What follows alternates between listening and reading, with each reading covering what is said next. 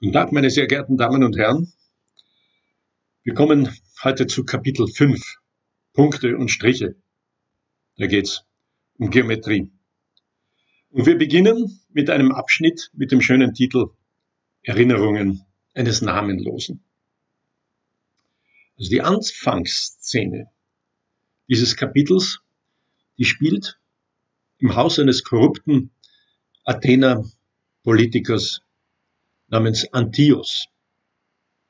Neben ihm treten auf ein zu Besuch weilender Truppenführer namens Menon, weiters ein namenloser Knabe und schließlich natürlich Sokrates. Natürlich, denn wir befinden uns in einem Dialog von Plato. Der Dialog heißt Menon und gilt als einer der frühesten, eines der frühesten Werke von Plato. Es geht wie so oft in den Gesprächen des Sokrates um die Tugend und woher sie stammt. Und erstmals stellt Plato hier eine seiner Lieblingsideen vor, nämlich dass es ein Wissen gibt, das wir lernen, indem wir uns erinnern.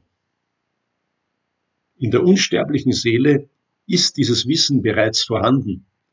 Wir gewinnen es zurück durch Wiedererinnerung, durch Anamnesis. Und dieser sonderbare Gedanke spielt für uns in dieser Vorlesung insofern eine Rolle, als er zu einem ehrwürdigen Rencontre von Philosophie und Mathematik geführt hat.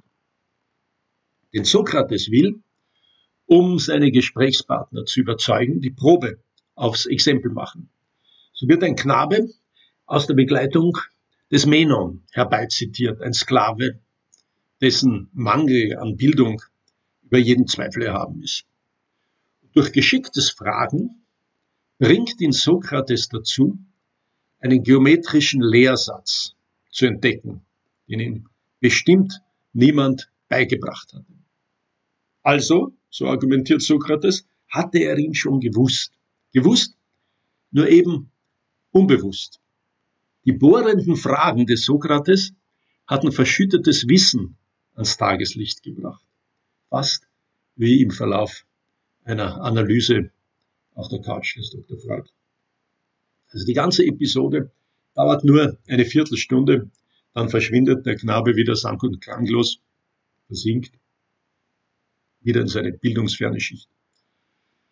Er weiß weder, wozu die ganze Fragerei gedient hat, noch das ihm ein Viertelstündchen Ruhm eingebracht hatte. Besser gesagt nicht Ruhm, denn niemand schien sich für seinen Namen zu interessieren, aber Unsterblichkeit.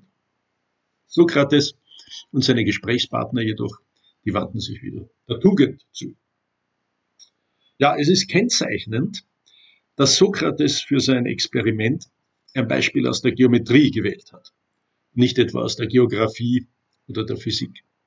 Also nicht etwa, dass Kreta eine Insel ist oder dass die Welt aus den vier Elementen Wasser, Feuer, Erde und Luft besteht. Ein Satz der Geometrie, da wirkt es doch viel glaubhafter, dass er von jeher bestanden hat.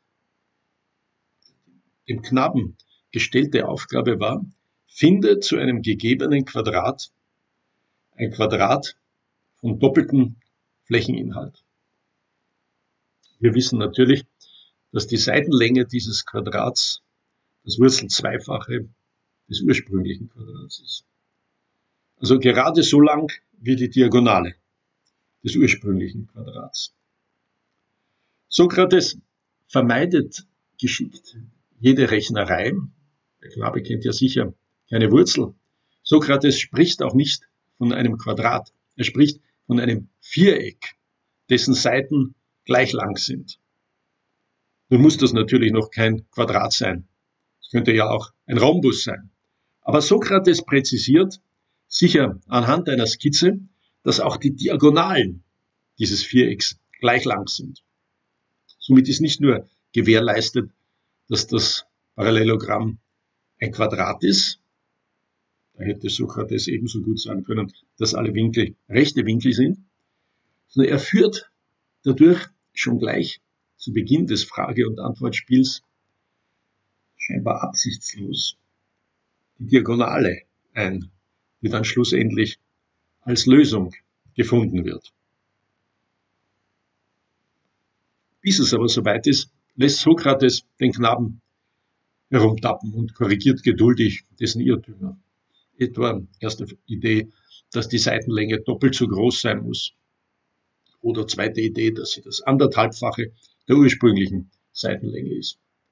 Sokrates versteht es natürlich wie kein anderer, ein Gespräch in die gewünschte Richtung zu lenken und so zieht er dem Knaben zu guter Letzt die richtige Antwort aus der Nase.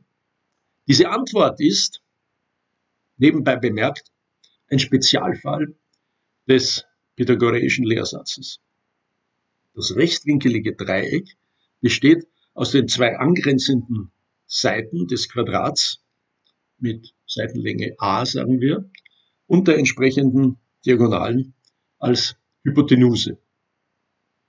Dessen Länge c erfüllt, wie man sofort aus der Skizze sieht, die Beziehung c Quadrat ist gleich a Quadrat plus a Quadrat. Also der Flächeninhalt c Quadrat des grünen Quadrats über der Diagonalen ist also das Zweifache des Flächeninhalts a Quadrat des ursprünglichen, des roten Quadrats. Hier noch einmal die Figur aus dem alten Text. Übrigens ist das entsprechende Problem im dreidimensionalen, also zu einem gegebenen Würfel, konstruiere man, Zirkel und Lineal, die Seitenlänge des Würfels mit doppeltem Rauminhalt.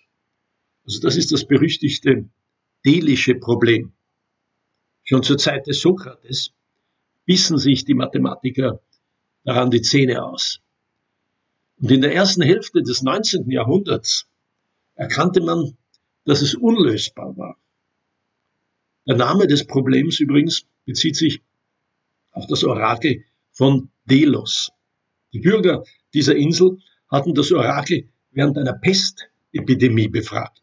Damals hieß jede Seuche Pest. Und der Rat des Orakels man möge den würfelförmigen Altar eines Tempels vergrößern zu einem Würfel mit doppeltem Rauminhalt. Also der Bezug zu heute drängt sich natürlich auf. Offenbar bereiteten Seuchen schon damals den Mathematikerinnen und Mathematikern gewaltiges Kopfzerbrechen.